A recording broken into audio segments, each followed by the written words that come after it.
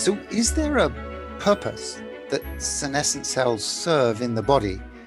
Yeah, do, do they have any beneficial effect? Yeah, so so the the first one, the most uh, the most common one, or the most likely one, is to prevent tumor progression. You know, so this is again, um, you need to have all these checkpoints um, that will, you know, say if a certain cell has divided too rapidly or too many times, um, then there's something wrong with that cell and we have to we have to stop it. Um, so that that's the first purpose probably uh, a, a, very common purpose. The other one is you know if we have a damaged cell um, then and it's in a tissue where there's some regenerative capacity for example the liver um, so if you have a senescent cell in uh, in the liver uh, you have a you know pretty a tissue that's got high regenerative capacity. So by triggering again these processes of cellular senescence after damage. So if you have uh, you know too much oxidative stress or so on, um, that a given cell or a given group of cells will become senescent. Um, and then something very interesting happens in those cells that become senescent. So, one is that they start producing this um, secretory phenotype that we spoke about, the, the senescence associated secretory phenotype. Um, and th- this is one of two things. So, one is that through a factor called interleukin 6 um, and probably a whole series of other factors is actually able to kind of reprogram its environment so it's it's able to to produce a kind of regenerative um, niche so you can you can actually get more repair. And the second thing is that the sasp uh, that actually creates all these cytokines will call in the innate immune system. So in the liver um, it is thought that um, natural killer cells for example will then be able to hone in find the senescent cell and kill it. And so two things happen here. So there's a cell that got damaged so maybe more than two things, maybe three things. So the cell gets damaged, starts producing this secretome. Um, it prepares the tissue for repair and then calls in an immune cell to clear it. And you have a healthier tissue than you did, uh, you know, uh, prior to triggering the senescence program. So it's thought that at any given time, there's a a certain low percentage of cells in different tissues that are senescent. So in the liver, there's an approximation that around two to three percent of, of cells can be senescent at any given time. But because they're again able to call in the immune system, the innate immune system to clear them, um, then there's really no problem. And the problem with senescent cells arises uh, once this clearance um, is inefficient, or once you start to have accretion of too many senescent cells in a given tissue, then you can imagine they're they're like little factories of, of inflammatory factors.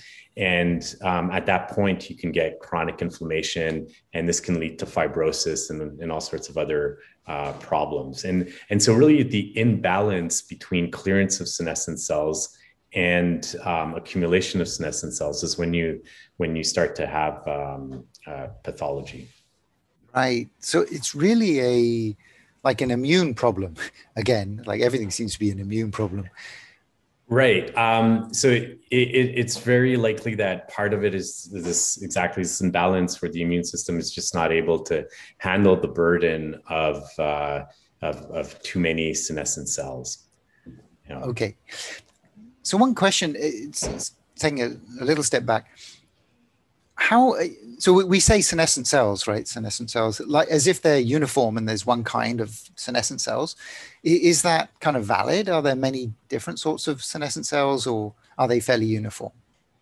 No, so they're actually very heterogeneous, and that's a that's an excellent point. And and it's actually extremely hard to come to consensus as to identify a senescent cell and what is a senescent cell, if you like. So we have all these different markers, but but not one single marker will be able to tell you uh, with confidence that you're looking at a senescent cell.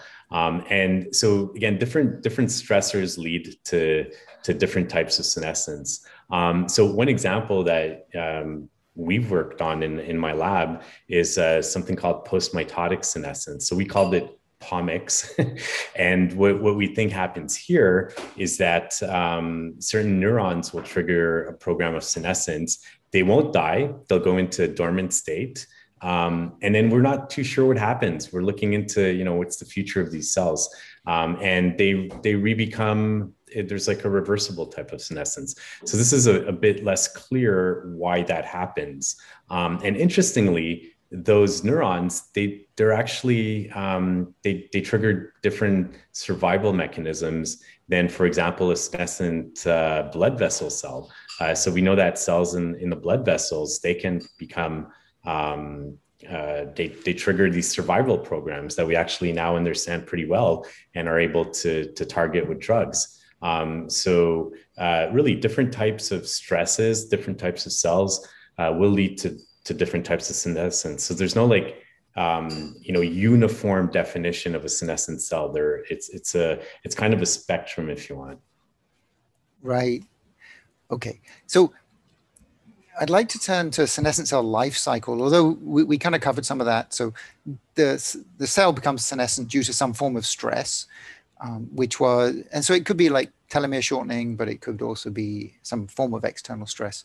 So the, the senescent cells, we call them senescent, but they're, they're still metabolically active, right? So that they're not actually, I mean, senescence makes them sound like they're just lying there, but that's not correct.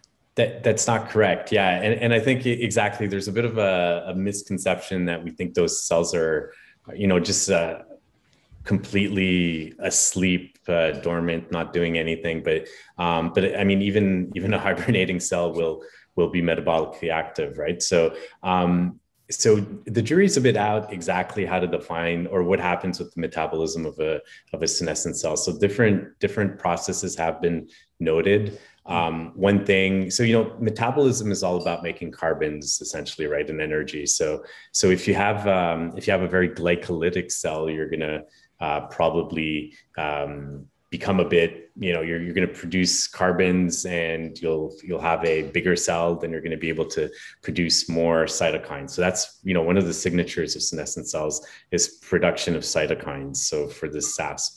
Um, so certain types of um, so uh, cancer cells for example become quite um, glycolytic when they're senescent. And you can actually use that as an achilles um, heel and uh, target um, some glycolytic processes to kill those senescent cells. Um, whereas other types of senescent cells will start to ramp up their um, uh, through the through the glycolysis cycle, eventually take the pyruvate into the TCA cycle, so into the Krebs cycle, and um, so they'll ramp up their Krebs cycle. Um, so so again, it's there, there's no real definition as to you know you can target all senescent cells by targeting glycolysis. Um, some of them are are quite glycolytic others will will will hit the the krebs cycle or will ramp up the krebs cycle. Um, and and yeah but the the bottom line is they're metabolically active. So they're still they're still quite active cells. Okay.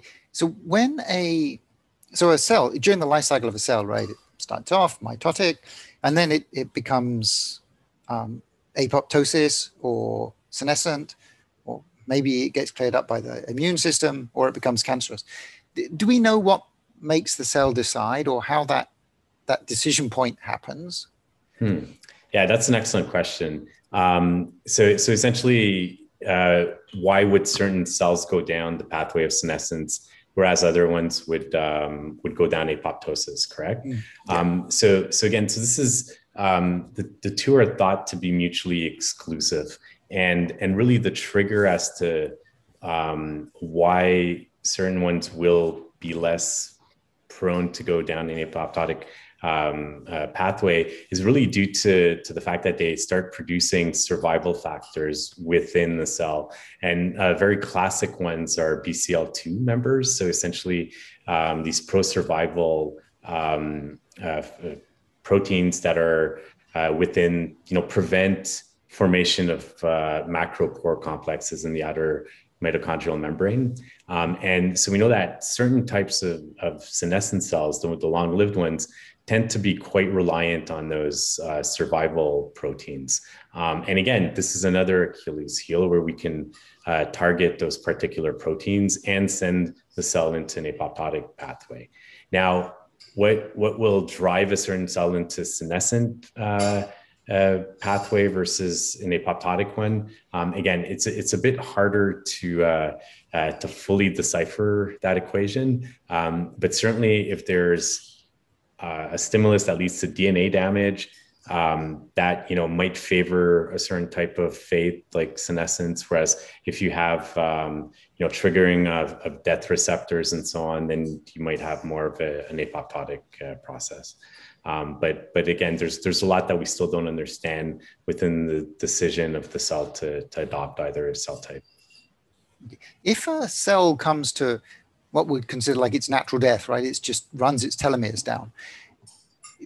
Does it does that decide that it will become senescent or apoptotic, or is that kind of not relevant? No, it's it's it's very relevant. So so actually, yeah. So if you if you run it down, um, you know, to a, to a certain point, and you know, you know, your your pro survival proteins are not uh, are not enriched enough in that particular cell, then that cell will choose to go down the apoptotic uh, um, pathway.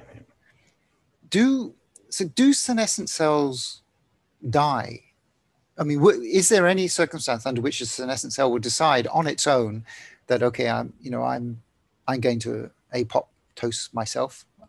Right. Okay. So so it's thought um, that you know this is a protective type of program, and those cells typically need to have some sort of stimulus to to drive them into um, into an apoptotic. So by the uh, apoptotic fate, uh, so so by themselves. Um, again, if they're not cleared by the immune system, this could be th- th- this is where there there can be an issue. Um, and the way that you can divert them is, you know, for through through um, debalancing the pro survival um, uh, proteins that you have within the cell. So uh, again, like these mitochondrial uh, survival proteins uh, that that will prevent formation of the macropore. Um, those, those are typically uh, senescent cells will rely on those for survival. So, um, or you know, there, there's other uh, proteins called FOXOs that can sequester uh, a, a, molecule called p53, and if you interfere with that, you can drive the, the cell into a, uh, an apoptotic uh, uh. Okay. I hope that you found the video informative please do hit the thumbs up buttons and subscribe to our channel and hit the bell button and choose all for any new video release notifications. It encourages us to continue to create more videos about anti-aging and extending healthy lifespan. Thank you so much for your kind support. I wish you all well and we will speak to you again soon.